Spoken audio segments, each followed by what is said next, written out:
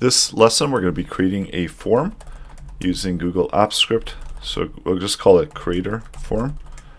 And this is going to be a function that we're creating that will create the form. So first of all, let's set up the form object using the form app service and then the create method and then whatever the form we want to give the name of the form.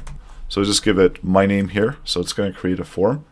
And then what we want to do is we want to add some items into the form. So let's create an item and then using the form object that we just created, we've got a number of options here. So the one that I'm going to select is add multiple choice item.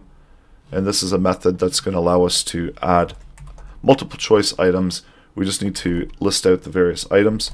So let's set the title of the item that we want and then the choices that we want. So select one and that's going to be the caption that's going to appear and then create the choices. So set choices, and the choices is going to be within an array. And each one of the choices is going to be a separate item object. So we're going to be using the item there and using the item, and we want to create a choice. So that's our option there where we create a choice and whatever the value of the choice is going to be, an array of choices.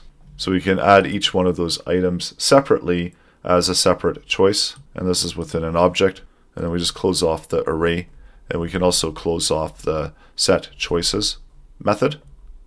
And so this will add in two individual choices for us. And we'll set the second choice to 2 we can add additional items as well. And we just comma separate them as we would with any array item. And then the last one does not need a comma. So that would give us three choices. And let's run the code. And that will generate a form within the root folder. So now if we go to the root folder, there's our form that we've just created. And then there's our choices that we've provided as a selection. And then to view the form, we can open it up within the form viewer. And there's our choices there that we just created. So that's how you can create a form using Google Apps Script.